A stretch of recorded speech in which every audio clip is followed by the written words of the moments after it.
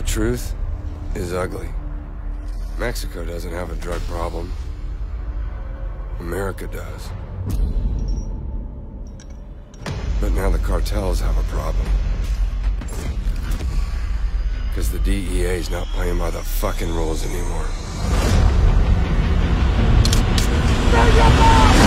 ¡Bájate!